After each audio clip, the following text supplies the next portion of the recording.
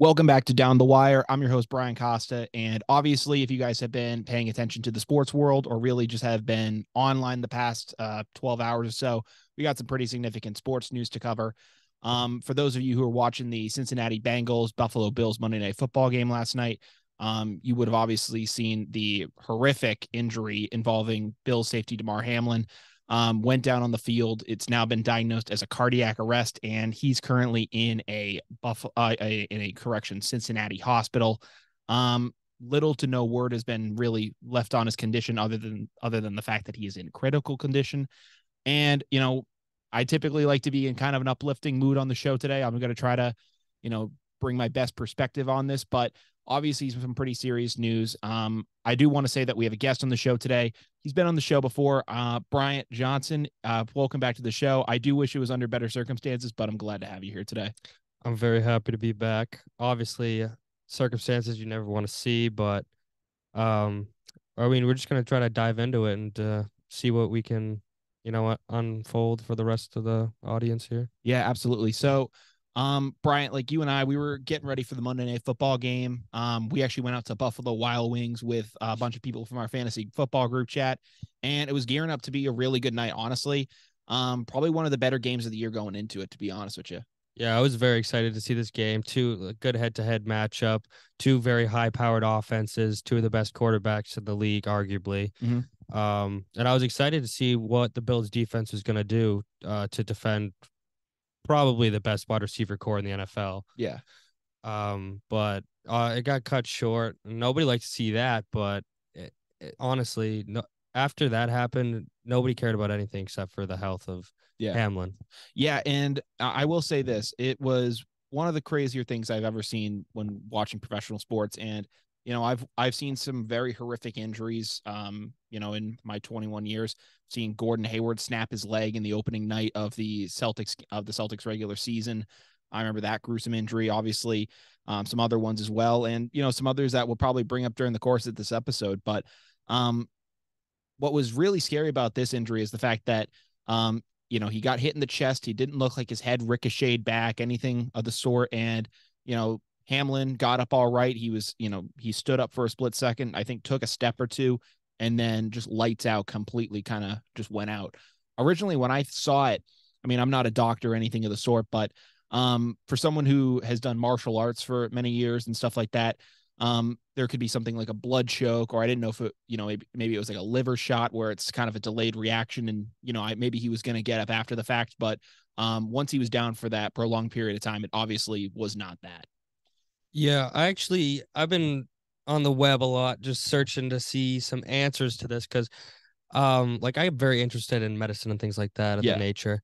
Um and I came across a couple of videos by all MDs um on TikTok and various other platforms. Sure and they said it's something called like a cortex or something. yeah, it's commotio cordis. Uh, commotio cordis. Something of the something sort, yeah. like that. About um, I saw a similar video as you. Yeah. Yeah, the trauma to the chest causing the like ventricle of your heart to quiver instead of pump, so it causes like your blood pressure to drop to zero, and um, as a result, like it takes about six seconds, I think they said. Really? So him standing up was at six seconds, and then he, uh, as soon as his blood pressure dropped to zero, he passed right out. wow. Was, uh, yeah, I mean, I mean that's crazy too. Cardiac I mean, arrest right away. Yeah, from what I saw from these videos, and obviously this is still kind of speculative right now as to whether that caused the cardiac arrest or you know potentially he had a you know a pre-existing condition, something like a Hank Gathers or a, or a Reggie Lewis, who you know each had you know traumatic uh, collapses on the court and you know had their own incidents. Um, that still remains to be seen as to what could have potentially caused this. But um, like you said, there um, from the way that these MDs and stuff are describing it, there's almost like a split second in which the heart is almost like kind of resetting its cycle to where if you'd have hit it just right, it could cause an arrhythmia and basically, you know, take, you know, just completely throw everything off rhythm. Yeah, I think that's that's what happens is right when your heart's almost resetting for the next pump if you get hit in that like it's like a millisecond window like this is a freak accident nobody this this happens to like less than 1% of the population yeah doctors were saying like they only read about this in textbooks and here we are watching it on live television like i i never expected to see that in the nfl and it honestly pains me to have to see it. Like I didn't want to. Yeah, I mean, and I mean, unfortunately, Briant, like this is something that you know, uh, for us, this is uh, you know, a football player taking a hit to the chest, going down on the field. This is something that um, we've seen before, at least you know, or at least read about and heard about. Being from Sutton, Massachusetts, um, we had a we had a person from we had a kid from our own town, Mike Elsesser, um, 16 years of age, playing in a JV football game for um, then at the time the co-op uh, Oxford and Sutton High School. Um, I I read it was on the second play of the game uh, he was a receiver, took a hit to the chest, went down. Um, the ref was performing, you know, uh, CPR on the field. They took him to the hospital. The you know doctors there worked on him for 45 minutes, and they weren't able to revive him. So this is something where I think you were the person who uh, I think you initially said this is like Mike, and and you know at, in that moment it was like wow, like I didn't think I'd actually see something like that ever again, to where it was a direct hit to the chest, and you know someone went into this episode. Yeah, I I did. That was me who said that, but the only difference is that Hamlin is in the NFL and he has all these professionals surrounding him. Thank God, because if it was not the, if if it wasn't that case, if this was a high school or JV game, you might have one paramedic and they're probably not seasoned like those that get the chance to work um, no yeah. these nfl games. Yeah these guys are these guys are i mean not only do you have the paramedics there you also have the you also have the team doctors from both teams. And the trainers. Yeah so i mean you have like the best of the best staff and you know the other thing too which i thought was a great sign at the time obviously you know hamlin's condition is still um you know to, to be determined but um, something that I thought was good that they had was the AED there because I know in the case of Mike, he didn't have an AED present, um, and that you know evidently you know you know potentially could have resulted in his loss of life there.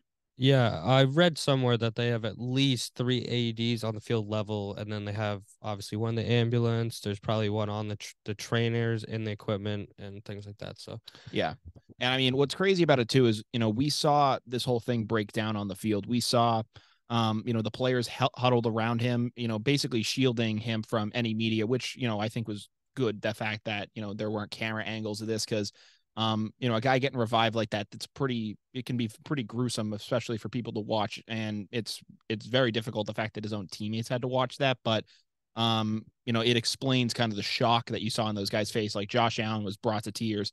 Um, other guys just could not speak, just like mouths like open, they could not talk. And I mean, for seeing something like that, it's, you know, completely valid.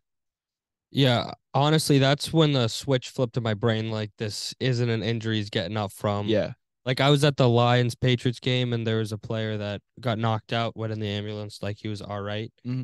Um, but as soon as I saw every player crying, like I knew like this was something that because yeah, because I mean, Brian, you you played this game at least at the high school level. You've seen guys get hurt and you know get hurt really bad.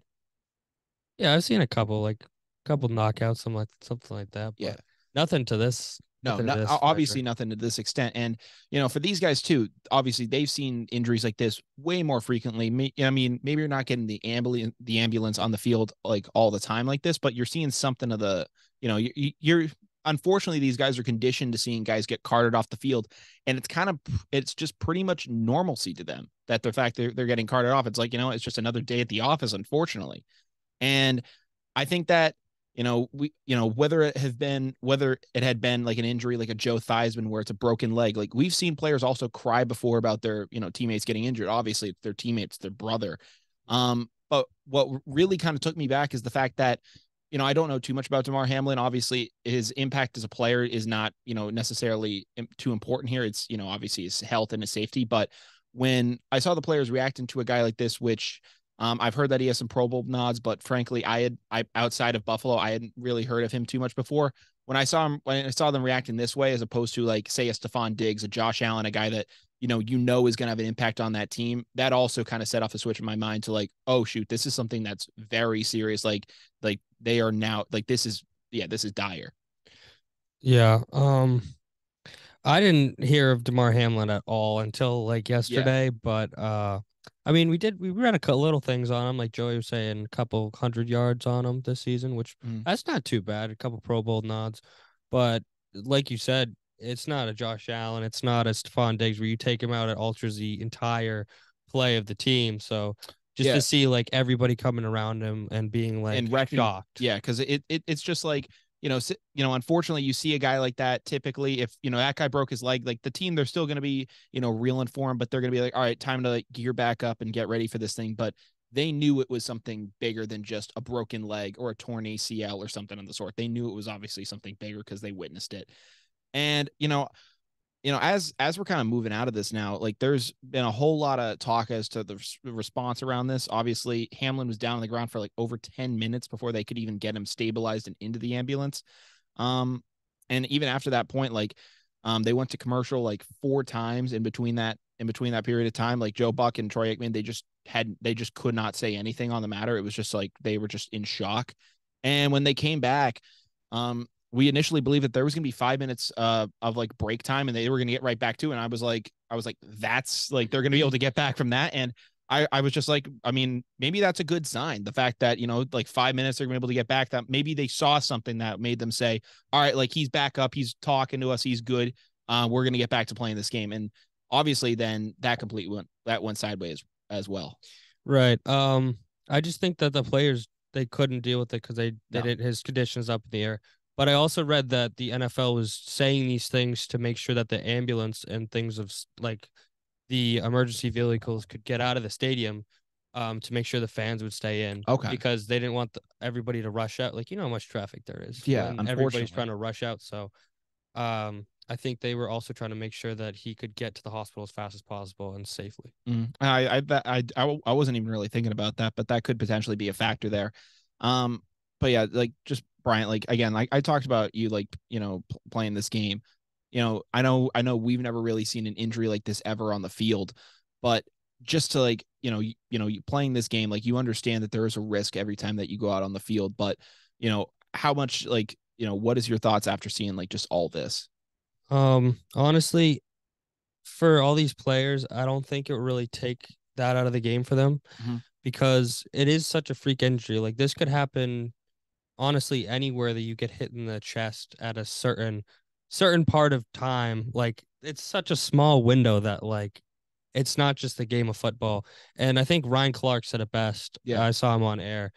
He's saying the way you want if you're going to live out your dream you're going to put your life on the line. And i i bet you if hopefully when damar hamlin makes it out of this i guarantee you that he'll say that he doesn't regret anything he's ever done because this is most of their dreams was to play in the NFL and they're living it. Yeah. And they know what price that they're paying every day with their bodies and their health. Um, but yeah, that's what I would say. Yeah. I mean, I guess if if you do want to see some you know some positive outlook on this. Um, Damar Hamlin has a toy has a toy drive. Um, you know, I originally I think the goal was like to raise like how much money, like I, I think it was only a couple thousand. Yeah, maybe. something of the sort. It now has like over four million dollars in yeah, donations. So so that's awesome. I'm I'm really glad for that. So that's uh that's fantastic news for him.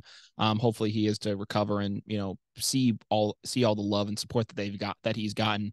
I think every NFL team on Twitter has changed their profile picture to something of the sort, like uh, "Pray for Damar" logo or something of the sort. So um, I'm it's it's really interesting to see the sports world come together like this. It's uh, it's really is something. Yeah, it's um all all the all the teams are gelling together. The NFL is coming together as one, and all the players are, and I really love to see it. Um, unfortunately, there's been some backlash amongst some people in the mm-hmm. field, but for the most part, it's been a good uplifting just prayers for Damar. Yeah, that, that's a thing. And I do want to kind of get into some of the backlash that's been going on that's been going on around the league. Uh mainly about people saying like, hey, like, you know, you should have called this game way sooner. Um, people basically saying like, how did like how did you ever think that these guys are going to be able to go back out and play in five minutes? Um, you know, the NFL has kind of disputed that and basically said like we never said they were going to go back out there and play and different things like that. But obviously it's kind of difficult to see that when you see Joe Burrow having his helmet on doing warm up throws and it's like okay they at least heard something about like warm up and get ready and I mean listen I I don't fault the league necessarily on that I mean you know these officials everyone in the stadium that's what they're told to do. I mean, this is completely unprecedented what happened last night. A player goes down, and usually it's like, okay, this could be really bad, but at some point that whistle's going to blow and the game's going to continue. So I think for you know the refs and the people there, you know, they knew like, all right, there's no way in hell like my players are gonna be able to go out there on the field and compete and at least and be in a somewhat competent mindset after this, but the league is just like, you know, they're over there in New York. They're trying to make the best call for it.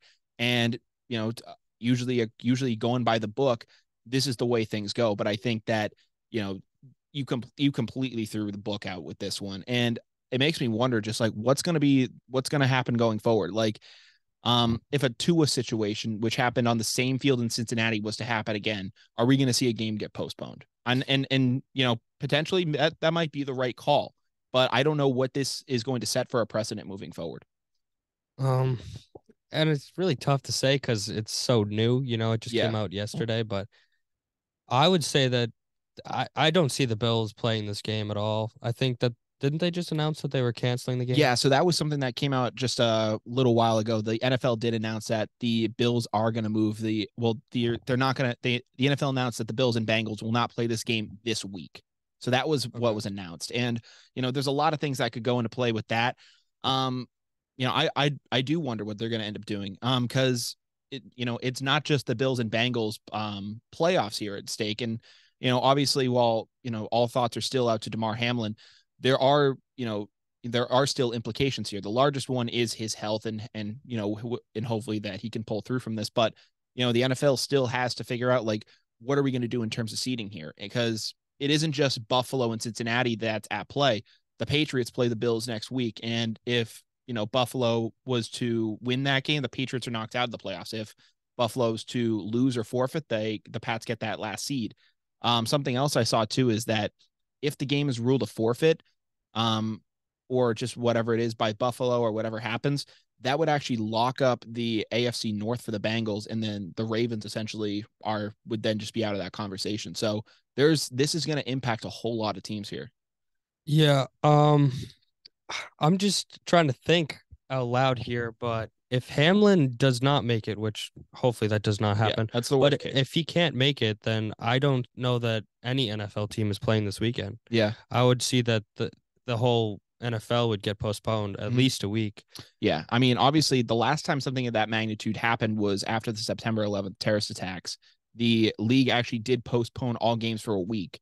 And what they did to make up for that was the fact that you know typically in between the championship games and the Super Bowl there's a there's a one week bye. Mm-hmm. That year they got rid of the one week bye and they just you know you went straight from the championship to the Super Bowl and that's what they did. Honestly, they can just get rid of the Pro Bowl. Nobody wants well, to watch the, that. Well, the, the, the game, the Pro Bowl game itself is it no longer happens, right? You remember? Oh, they, right, they, right. They, they just it. do the events. It's just the events now, so they could, in theory, just completely scrap it. Yeah, I I wouldn't see a problem with that at all. Yeah, I mean, they could just scrap that bye week and play the Super Bowl. I mean, the fact that there is no longer a game anymore it just means that like there's nothing that the NFL would. There's like, even though the Pro Bowl probably just got horrific numbers um, it's not like it's not like they're going to be missing anything on that day. Like like they could just get completely just like move the championships and do that. But um, I I wonder what that's going to look like because you know I know some I know a bunch of other teams were gearing up to play this week. I know that you know they're saying all their thoughts and prayers are with this player, but I I wonder you know how this is going to impact you know certain teams coming back. Like are are certain players going to get you know, rested up and, and possibly change some outcomes of games? Is Lamar Jackson with another week of rest going to potentially be able to play in week 18? Same thing uh, with Jay. I was going to say with Jalen Hurts, but not so much because th- their their seat is locked up at this point. But yeah. um, it, it, that at least gives them another week to be rested for the playoffs and get healthy. So, um, you know, this impacts more than just uh, you know, not even the Bengals and the Bills, but it impacts more than the AFC. This is the whole league. This is going to impact. Yeah, especially just the the extra week to rest is big because yeah. a lot of those players that are dinged up, even you know Poyer played yesterday, he was really dinged up. Yeah, you give him an extra week to get healthy. He's a big difference maker on the field. Um, you said Lamar Jackson. Lamar Jackson obviously is huge, but he, even with that, if the Bengals get this forfeit win, it doesn't even matter if Lamar Jackson comes back. Yeah. So as so, much as I think that the game's not going to get played with the Bills and the Bengals, it kind it kind of has to. No, I don't know. And, and I mean, you want to know what's what's going to make this even crazier is the fact that you know, depending as of right now, it seems like KC will take care of the Las Vegas Raiders on Sunday night on you know on Sunday. But with the way that the Raiders played against the 49ers, essentially going to toe to toe with them, Jarrett mm-hmm. Stidham looked good. Davante Adams just set the Fran just set the single game record for receptions. I mean, the Raiders look like they could play spoiler down the run and you know if they were to knock off KC, then then the number one seed would be at play. So like this, I mean, I think the NFL they're just hoping, in in my opinion, that nothing out of the ordinary happens. Whatever teams were, you know, probably favored to win, they're just hoping that there's no dramatic upset. They're probably going to be praying that Kansas City just takes care of business and that, you know, in their if they could, they wouldn't play this game. That that that's what they're hoping to do here. Yeah, uh, I don't know, man. The Raiders have been hot. Yeah, they've been playing really well. Um, Derek Carr obviously has had a pretty horrific season. Yeah. Uh, but Stidham stepped in right there, just like Brock Purdy has, and just stepped up to the plate. I mean, it's pretty easy when you got Davante Adams to throw sure. the ball to, honestly. Yeah. But um, I could see I could see a nice knockoff, especially if uh Jacobs goes for a couple couple hundred, a couple touchdowns. No, yeah, that potential's there, and then it just makes you wonder what this is going to hold, what this is going to look like. Because I mean, is it the Chargers sneaking in? Right, the Chargers are in. The Chargers, Chargers are in. But if Kansas City loses, then the Chargers get the one seed. No, the Bills and the Bengals would be in play for the one. Oh, okay. okay. So that so that's the thing is the fact that those two teams could then be in potentially in play for the one. So I don't know what you would do after that. I mean, typically in baseball, you have like a game 163 after the season before the playoffs start, and you do something like that. But in baseball, those players are able to, you know, you play 162 games a year. You can't do that with football, and you know they those guys need usually a minimum four days between a game. So I don't know how they are going to really be able to do this and you know determine like all right like like if are they going to have to like maybe push the playoffs off a week just have Bengals Bills and then do this like I don't know.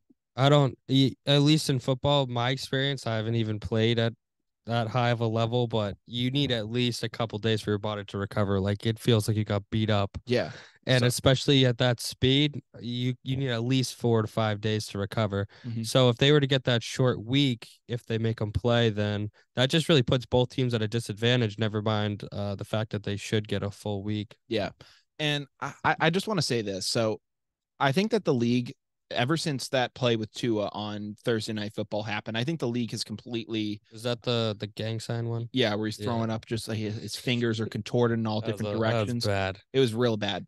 So I think that um I think now like since this has happened, I think ever since that play, like a lot of people are looking at like, these injuries differently. And it's just like, you know, like these guys could suffer permanent brain damage and you know maybe may not be able to live a normal life after this. Same thing with a guy like ryan shazier. When he got paralyzed it's like what's going to happen to these guys?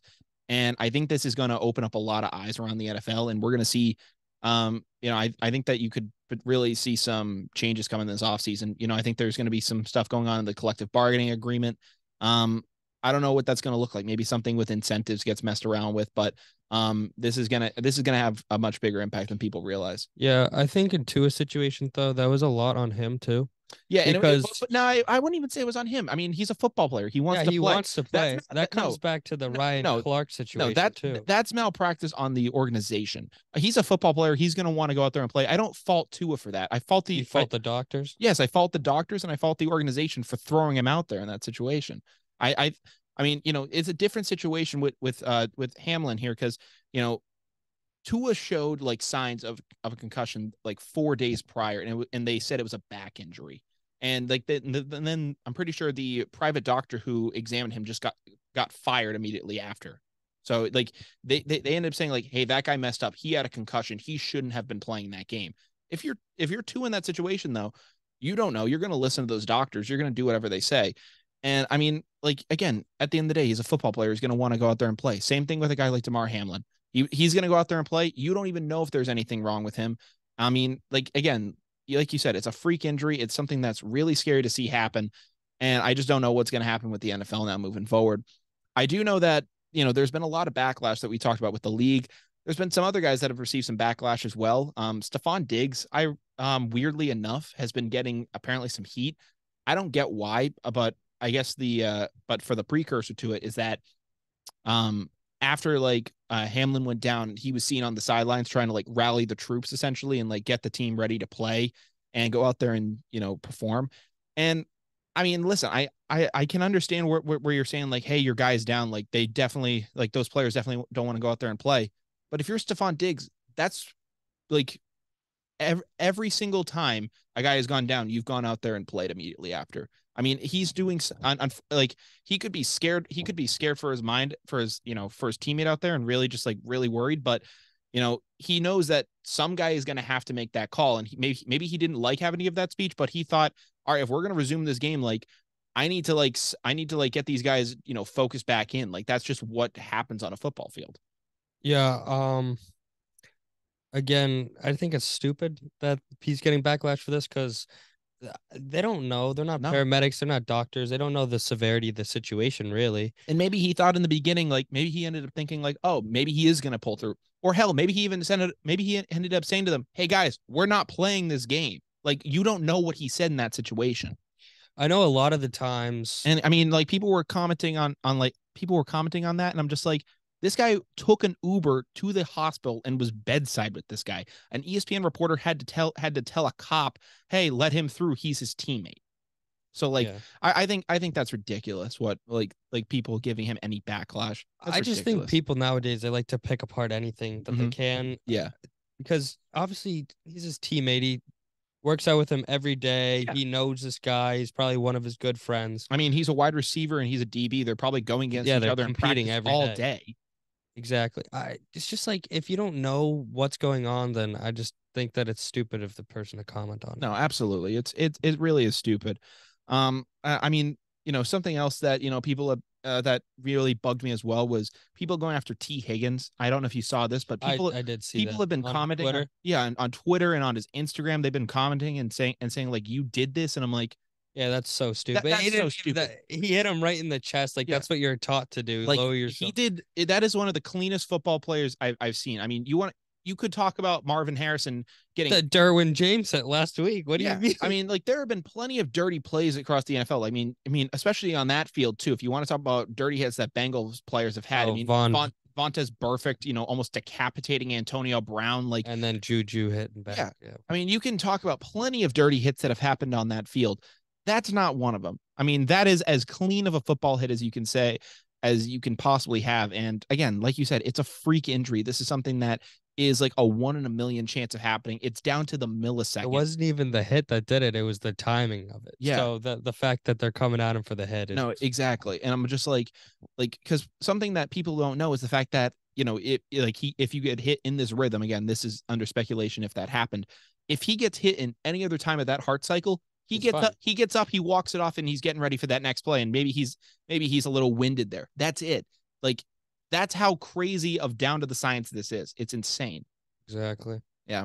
But um, you know, I saw that I saw that backlash, and then there was another piece of backlash too that I saw, which um, you know, I, am kind of I'm kind of a mixed bag on right now. It's been the whole uh, situation surrounding Skip Bayless because um, after this, he went on Twitter and he ended up saying, No doubt the NFL is considering postponing the rest of this game, but how this late in the season, a game of this magnitude is crucial to the regular season outcome, dot, dot, dot, which suddenly seems so irrelevant. So when I saw this tweet at first, I had to read it like at least three times. Yeah. And because it because he wrote it terribly. Yeah, he honestly, everybody was getting mad and mad and mad, but I think he was just like trying to explain I, the magnitude of the injury. Yeah, I think that's I just I think, worded it terribly. No, absolutely. I, I I think he was trying to basically just say it's crazy that a game of this magnitude can you know suddenly mean nothing in a matter of minutes, and I think that's what he was trying to say.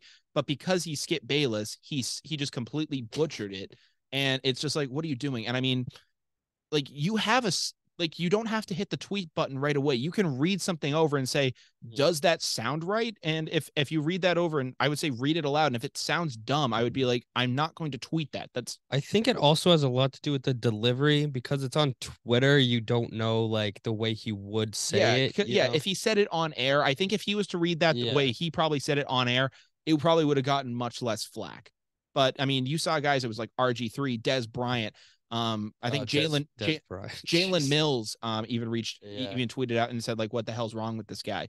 And I mean, listen, Skip Bayless, I I, I will say this: he's had some atrocious like you know comments in, in the past. You know whether it's going after guys like Shannon Sharpe and all these different people. Um, you know on his own show too. Yeah, so I, I mean, say him and Shannon are on the same show. Yeah, so like he goes after all these guys, and I mean, I, I I think that a lot of the scrutiny he gets is is valid, but I am kind of back and forth on whether this is that case. Uh, I just think that he was again. I think he I think he was just stupid. I think he was just negligent. Yeah. Like I think that's the word. It's negligence. It's the fact that I would just like because he put out a tweet immediately after, and he and he ended up saying like, "Hey, didn't mean to offend anyone, offend anyone with my last tweet. This guy's health is like all that matters." And it's like, just say that, just say that, because like yeah. that's because that's the fact of the matter. You don't need to put on like this big soliloquy and and try to like say like oh like look into this and like the grand scheme of things. Like you don't need to paint the picture man. That's not what you do. Like you're not like this poet. So that that that was the part that i that that kind of got me with skip bayless. It wasn't even the comments. It's the fact that like like you need to like be that guy all the time. Like how about you just say like hey re- prayers up to this guy. Hope he's okay. Just leave it at that. Just toss it out there. If that if you really think that you need to say anything you don't need to like th- this doesn't need to be a you're not narrating a documentary here. Yeah, I I do think he had to say something though because he's in the sports world. No, absolutely. He need he he's he's a sports figure. He definitely was, you know, he, it's definitely in his job that he needed to report on that. But again, like you said, like or, or like I said rather, um, it's not like he's narrating. Do- uh, it's he's not narrating a documentary here. He could have just said, "Hey, I really hope this guy's okay. Scary injury." Yeah. Like, like that's all he that's all he needed to say. That's all I said when it happened because I mean we were just learning live as it was going on. We didn't know. We were all just confused, honestly. Yeah, I uh, think. I mean that that's the thing, like because we had never seen anything like this, and it's just like what the hell is going to happen next? And when the teams went off the field, and you know there was kind of like a bit of a shock there. It was like what the hell's going on? And I don't want to make you know too much of a comparison to this, but um this injury in a sense kind of reminded me of when the NBA shut down due to COVID. And really, I think this reminded me of the WWE. You ever seen that when the guy yeah. fell off the zip line and died? Okay, yeah, he I, died at Monday Night Raw, and they Blue just, Blazer, yeah, they just kept going because they had no idea he was dead. Yeah, that's crazy. No, I this reminded me a little bit of the NBA shutting down due to COVID. Um, just in terms of the feeling that I had when it happened, because um, you know, like because a lot of people had different reactions to it. I mean, there were, I think there was a game involving the Mavericks where um, Mark Cuban's like, get Mark Cuban sees the tweet about the league being suspended, but they finished that game. And then a game that was set to tip off like a couple minutes later, I think it was the Jazz and the Pelicans. Um, they made everyone evacuate the stadium. So it was so like you saw like different reactions, people, you know, you know, not knowing really what to feel. And it was kind of those things of where it was like this is something that we this is kind of an unprecedented thing. This is something we haven't seen before. And that's kind of what it reminded me of in a sense. And you know you know it's just like you know this is a more isolated incident obviously covid was a global thing. Um but seeing this it's just like wow like you're really like hoping this guy's gonna pull through. Yeah it's just everybody kind of united over the same thing here. Yeah. I'd say it's a little less polarizing than the whole bubble situation oh yeah yeah yeah. No hundred percent. you know what i mean? No 100% um but yeah, I mean, I, I just I, am I'm, I'm just in shock as to, about this whole thing because I mean this wasn't just like you know some average just like regular just like season like you know week nine game to where you know I think that there there have been other instances in the past where games have had to be canceled um and they either play on the bye week or they do something else and they try to figure out like a common date that they could all play. And it just so happened that this that this is happening this late in the season. There are no more bye weeks at least at this point. So it's just like, what are we gonna do? Yeah, it's kind of the worst timing ever. But yeah. I mean, but unfortunately, the timing isn't really what's important here. The yeah, the exactly. importance is Damar Hamlin. Hopefully, he is okay. Um, before we do go though, I want to talk about you know, you know, we talked about how this impacted a team like the Ravens. You know, briefly touched on the Patriots. Um, but I, you know, this is going to impact the Patriots obviously down the line. Um, you know, a- after Sunday's win against the Dolphins, you know, it was you know, kind of a little bit hairy there. We were kind of struggling against Teddy Bridgewater, and even Skylar Thompson was, you know, giving us fits at the very end of that game, which is scary enough as it was. Um, but you know, it makes me wonder. Like the Pats right now are technically in control of their own destiny. They play on Sunday against the Bills. And, you know, hopefully, you know, maybe they hopefully the Bills learn some good news about Damar Hamlin. The game's able to go off okay and they can go. But what but then it makes you wonder i mean i i was listening to 98.5 the sports hub and i think it was jim murray or something who brought it up but you know he he said not to sound morbid but what if you're to find out that you know hamlin isn't okay and you know possibly on sunday they find out that he passes away? I mean if you know not it's not only just going to be traumatic to see a guy like that go down on the field how are they going to be able to even go out on the field and play if they find out that their teammate just died I like, think I mean I, I mean I hate to say I I don't I'm hoping for the best, but if this is the case, like like this is gonna have some really big impacts around the league. I touched on this earlier, but I I like I said, I don't think anyone's gonna play for Yeah. at least a week. Um I I think that they'll probably play the week after, but Mhm. There'll be a lot of things for Damar Hamlin in the league, like Absolutely. people for it. there's gonna be a like patch there. There- stickers. Yeah, they're gonna no. There's gonna be a lot of support for him, and I'm you know I'm I'm encouraging all that. I also encourage people maybe if they can to donate to his charity, do whatever they can, support him. You know, hopefully he's able to pull through for. for I really just hope it doesn't come down to that because yeah. I mean that that's the worst scenario, and I really hope that you can avoid that. Um, I guess if I want to leave it on some good note, on some good news, I mean, um, you know, I was listening to some reports from doctors, and they said they've seen patients like this um have basically the exact same scenario that he went that he underwent, and they've been able to make a full recovery from this. So there is at least hope, and you know, the possibility that someone like this can pull through. yeah, um, they did do CPR almost right away. So, Mhm.